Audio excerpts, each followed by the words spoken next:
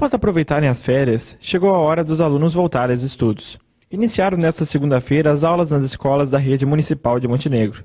É o caso da escola Carlos Frederico Schubert, que atende alunos da educação infantil até o quinto ano. E a primeira atividade do educandário esteve ligada com o tema do projeto deste ano. A gente está fazendo em cada turma né, da escola uma atividade relacionada ao projeto, ao grande projeto da escola deste ano, cada árvore uma história, né, que nós vamos trabalhar com as crianças. Então as professoras estão fazendo uma atividade relacionada já a este projeto.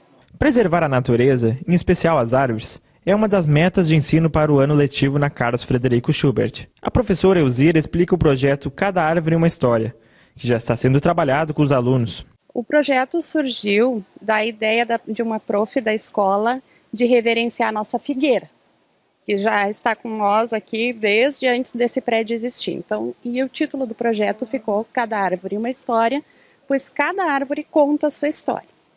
Baseado nisso, na, re, na reunião pedagógica, nós decidimos criar a Árvore dos Sonhos.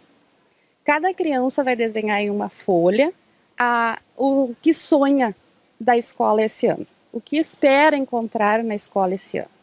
Vai ter passeio ao Jardim Botânico, vai ter palestras com enxertos de mudas para as crianças aprenderem como faz. Vamos conhecer a história das árvores que existem na nossa escola e vamos fazer uma arborização da nossa comunidade. Junto com a empolgação dos estudantes, vem a expectativa dos educadores em fazer um 2015 melhor que o ano passado. Para a diretora, a maior satisfação é ver a felicidade das crianças. Seja ótimo como foi o ano passado, de preferência ainda melhor, né? Que tudo corra bem, que as crianças então se sintam cada vez mais felizes dentro da nossa escola e que eles possam, né, aprender bastante, crescer enquanto pessoas, né?